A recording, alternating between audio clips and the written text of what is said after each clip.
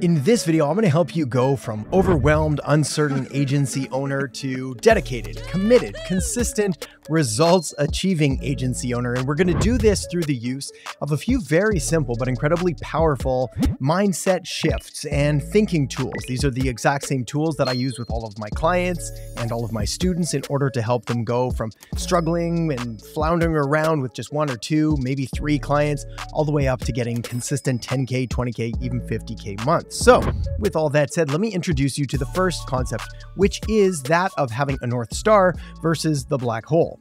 You see, one of the biggest issues that most agency owners make, especially those who are struggling to break through to those consistent 10K, 20K, 50K months, is really being uncertain or not having a clear and guiding focus, goal, mission, vision for what they want their business, their agency, and their lives to look like. Now, we're going to call this the North Star. Essentially, what this is is some kind of guiding light at the end that is guiding all of your direction. It's it's pushing you in the right direction, making sure you're making the right choices that are in alignment with where you want to go. The problem is is that most people don't have this. If they do, it's often fluffy and uh, and intangible and just a little bit out there. Like I want to be successful or I want to be rich or I want to get a nice car or travel the world or whatever it is.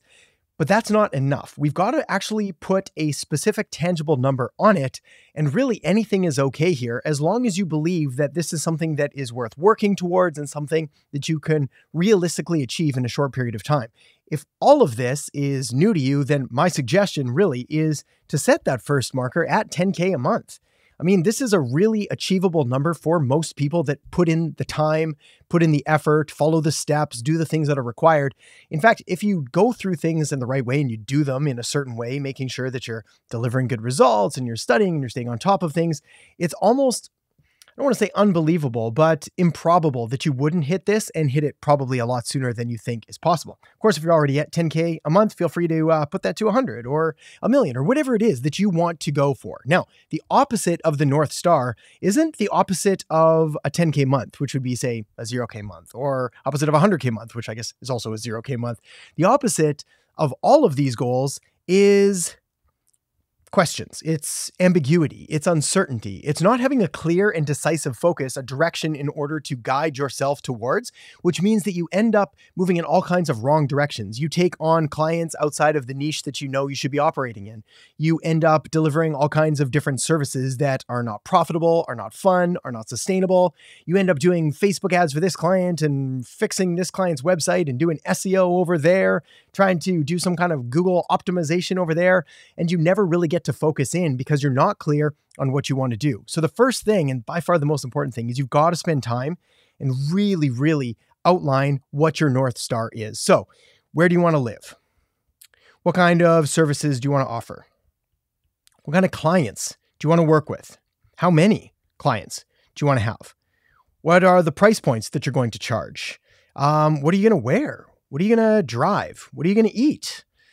What does your everyday look like? What time do you wake up? What time do you go to bed? What what are your friends and your relationships and all of that look like? You've got to be as clear and specific as possible.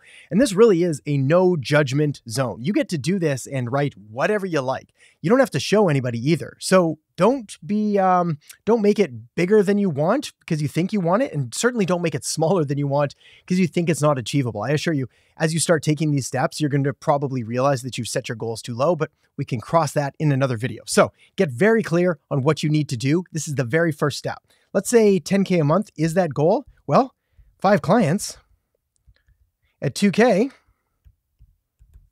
gives you 10K. So just like that, we've already set a vision and now we've reverse engineered the steps or at least the the requirements that are going to be needed in order to achieve that. And of course, from those five clients, you can reverse engineer that further.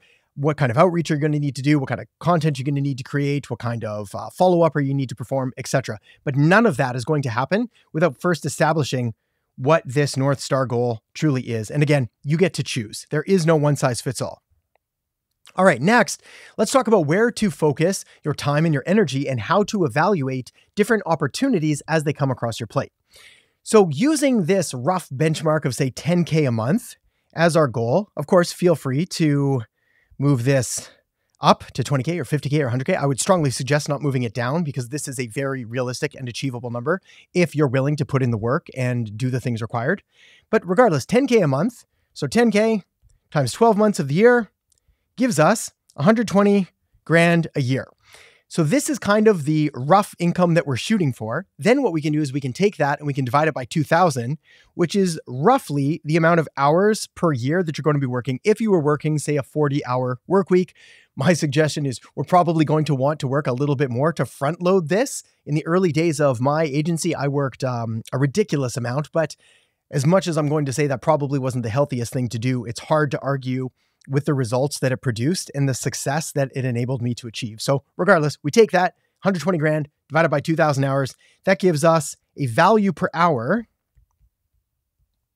of 60 bucks. This means that if this is your goal, your value per hour is worth about 60 bucks. So you've got to start evaluating different opportunities as they come across your plate and start assigning a monetary value to them, whether they're going to be in alignment with where you're trying to do, in alignment with the value that you have, and also are they in alignment with moving you closer to your North Star? Or are they moving you more to this like ambiguous black hole where you're doing a whole bunch of stuff, you don't really know why you're doing it? And you end up ending up on just kind of a, a different kind of nine to five job. Only this one is self constructed because you're just doing stuff you don't like for people you don't like. A disaster situation that we can uh, we can safely avoid here. So now let's say that we've got all these different opportunities that come across your plate and we've assigned 60 bucks an hour. So you might have opportunity one here, which is a client that says, Hey, can you build me a website? And then you've got opportunity over here, which is, we'll say, uh, some local SEO stuff. And then you've got opportunity number three over here, which is a client in the wrong niche, but still kind of a relatively interesting service. Maybe it's Facebook ads, which you've decided to focus on. So we'll put them over there. And then number four, we're going to put the random client who's in random niche doing random things wants you I don't know, wash their car or walk their dog or whatever it is, which again, a lot of people are going to tell you, no, don't do that. Don't walk dogs, wash cars. You're worth more than that. You're better than that. And the fact is, you're going to be. But if you're just getting started and you got to pay the bills and you're looking to transition and to make this agency a full time thing, provided that it is serving this thing here, 60 bucks per hour or more, depending on whatever it is that you need to achieve. If it's doing that to pay some of the bills and still making sure that you've got enough time to do more important tasks to grow your agency, then um, I, for one, am not above doing that kind of work. When I first started my agency, I did all kinds of menial small jobs, and that was after leaving the corporate world and making a very good salary, and then having to go out on my own and work at minimum wage retail spots, just literally to pay the bills while I was trying to figure this agency game out. So, money we need in order to reinvest in ourselves, in our education, in the software, in basically proving to ourselves that we're valuable human beings capable of doing things. So, regardless, we need to assign a monetary value to the different opportunities that come across your plate, but money is just one piece of the puzzle. There's other things that you need to look at as well when we're looking at the different opportunities. So, we talked about money. The other one is experience. When you're looking at these opportunities, say the web, the local SEO, client in a wrong niche, this random dude that wants you to wash his car and walk his dog or whatever, is it going to give you relevant, valuable experience or training?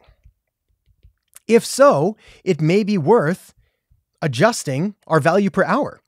Maybe it's worth doing for free. A lot of people seem to have this huge problem with working for free. But the fact is, if you're struggling to get more clients, you need more clients, even if they're low paying or no paying, because you can get testimonials, you can get case studies, you can get referrals, you can also get relevant, valuable training and experience in order to become better at your craft so that the next time you go and pitch a client, have a conversation with them, you're going to feel more confident in yourself and your ability to actually get them results. So take a look at that as well experience and training.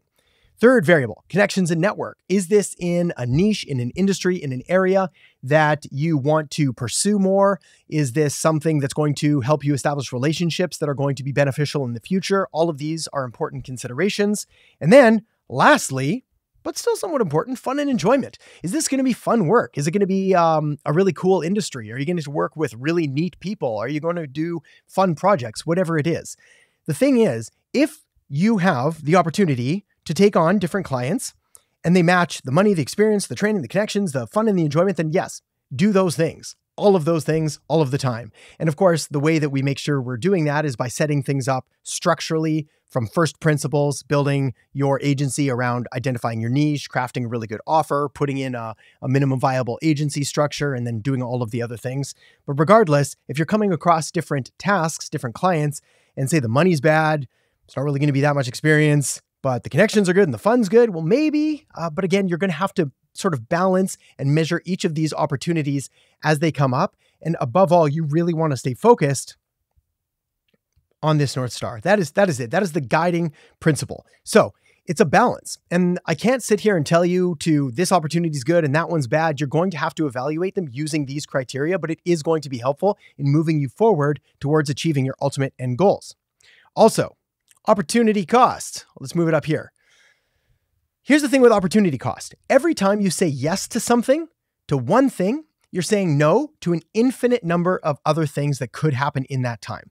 For example, if I decide to have lunch with a buddy at 12 p.m., well, from the hours of 12 p.m. to 1 p.m., I've said yes to him which means I've said no to my family, I've said no to my kids, I've said no to my other clients, I've said no to going snowboarding or mountain biking or traveling, I've said no to reading a book, I've said no to watching a video, I've said no to, to all of the other things that could and potentially would happen during that time. So you need to be selective. You need to be strategic and you need to make sure, again, it all comes back to that North Star. Is this moving me closer to the person that I want to become, to the agency that I want to build, or is it moving me further away? What you're going to find very quickly is that uh, with a little bit of practice, it gets easy. You're going to start to realize very soon that, say, playing an extra hour of video games is moving me further away. So, by saying yes to the video games, I'm saying no to making a lot more money. By saying yes to going out partying and drinking too much, I'm saying no to all of the other uh, things that I could be doing. There's a reason that I live the way that I do, which is not normal by any average uh, person's evaluation. So, I don't drink. I don't smoke. I go to bed at 8:30 p.m. normally. I wake up around 4 a.m. I've got a very strict uh, workout routine, eating regimen. All of these things, they didn't happen overnight. They were muscles that were built up over time, but they've led to incredible results by understanding and prioritizing and scheduling the things that I know are going to get me the absolute best results and then making sure to factor those in. Also, if that's not enough, the great saying memento mori, which means the sort of quasi in literal interpretation, uh, you could leave life at any moment. At any time, you could die, which is terrifying and uh, and and a very morbid thing to talk about when we're talking about building an agency. But important. It's really important to understand that you need to have a sense of urgency with what you're doing. I don't care if you're 20 years old or 40 years old or 60 years old or 80 years old. Death comes for us all, and it comes at random times, and we have nothing that we can do about it in many cases, provided we're doing our basic safety precautions. Look both ways before you cross the street, my friend. But the point is, life is short. You got to take action. The time is going to pass anyway, so we might as well be guiding and directing it towards the things that are going to make you the best version of yourself and then taking those consistent actions. So, again, we use all of this when we're measuring opportunities. When something comes across your plate, you have to ask yourself, is this worthy of the person that I want to become? Is this worthy of my one life, my one time here on the planet, this short amount of time that I've got? Am I really going to be spending my time doing this, or would it be better focused with people that love and support me on activities that are going to help me grow my business, my agency, pursue my goals, etc.? All right, next sunk cost fallacy. This is a doozy, and it's one that gets a lot of people. I fall prey to this all the time, which is why I have to keep reminding myself of this. What sunk cost fallacy is, is essentially attaching too much value to things that we've already invested in and then continuing to do that because we already have. So, for example, if you bought a bunch of really expensive clothes that you just think are atrocious and you're like, well, I don't even know what I was thinking buying all these clothes, but you keep them, that's a sunk cost fallacy. You're probably never going to wear them again. We should just get rid of them to clear up mental and physical space. Again, the example here hey, look, if we don't get rid of the anchor, the boat will sink. And then this guy over here, oh man, sunk cost fallacy guy. No, the anchor was expensive. I love this little diagram because that's literally it. We keep doing things that we know are not good for us, that we know are not helping us achieve our goals, build our agencies, get more clients, make more money. But we keep doing them because that's how we've always done things. This is just what I've always done. This is who I am. And I've got this attachment to this thing. Rather, what you need to do is you need to approach each day, each activity with sort of a, uh, a zero cost budgeting accounting perspective, where everything you do has to re justify and revalidate its worthiness in your schedule, in your calendar, in your activities. Is this something that is going to help you, or is it something that's hurting you? And another good question to ask yourself is if I hadn't already bought this, if I hadn't already started this, if I hadn't already started going down this path, is would I still do that same thing today? Would I make the same decision today? Would I buy it again today? And if the answer is no, then we've got to cut it off and we've got to just keep moving. Bigger, better things await. Next, nothing changes if nothing changes. If you're sitting at one, two, three agency clients, you've got up and down months, things are good, then they're not, but you're not hitting those consistent 10K, 20K, 50K, 100K months, something has to change. Like the reason that you are where you are today, good, bad, or ugly, is as a result of the things that you've done up until this point. So it would be insanity to assume that things are just going to miraculously get better on their own. They're not. We need some kind of input. We need something to go there to change things up, to change the way that you're thinking in order to come out better on the other side. Nothing happens without some kind of input. Now, on that note, we could do this. We need some kind of stimulus to give a response. We need some kind of cause to lead to an effect. And we need some kind of input to lead to an output. Of course, the more higher quality the input, the higher quality of the output. There are direct causes you can do, like sending certain emails, doing certain audits, making certain calls, following certain protocols, um, using certain strategies. Those are certain causes that lead to certain effects. See, one of the things that I think is most exciting about starting and scaling and building a really profitable agency, getting it up to multi sex and then seven figures, is that it forces you to become kind of a realist in the way that the laws of, of nature and human nature and the universe operate, in that if we do certain things, we're going to get certain results.